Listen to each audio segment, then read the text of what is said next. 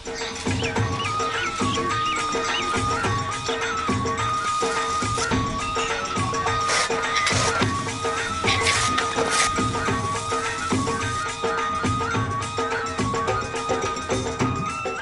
हुसैन होश संभालते ही काश्तकारी से वाबस्ता है। ताहम, अब महँगाई के बायस इसके अखराज इसकी आमदन से बढ़ चुके हैं।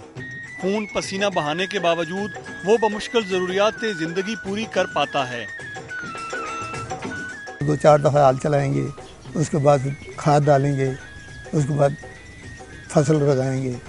वो खर्चा सारा निकाल निकूल के जो आखिर तक फिर बैलेंस बराबर ही रहता नज़ाकत दिन रात काश्तकारी में झोंकने के बावजूद भारी फीसों की वजह से अपने बच्चों को अच्छे स्कूलों में दाखिल करवाने से कासिर है। बच्चे हम बढ़ा नहीं सकते। खर्चे बहुत ज़्यादा हो गए हैं। दिल तो बहुत करते हैं इनको बढ़ाएँ और घर के खर्चे नहीं पूरे हो रहे इनको कैसे बढ़ाएँ हर बरसर इकतदार हुकूमत ज़रिए तरक्की के दावे तो करती है लेकिन किसानों को किसी किस्म का रिलीफ मुहैया नहीं करती। यही वजह है कि ज़रिए मुल्क होने के बावजूद किसान मुल्क की जरूरियात पूरी नहीं कर पाते।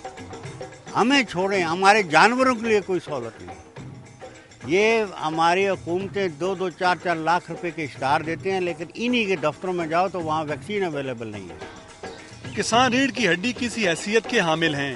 तहम हुकूमत की जानब से इन्हें नज़रअंदाज करने मराहत के फुकदान और टैक्सों के बोझ ने इनकी हालत को बद से बदतर कर दिया है। गुलाम हुसैन भट्टी और इस जैसे किसानों का हुकूमत से मुतालबा है कि वो आइंदा बजट में मजीद टैक्स लगाने के बजाय इन्हें रिलीफ फराहम करे। कैमरामैन जुल्फकार अली के साथ वसीम मलिक, समा, सागरी, रावलपिंडी।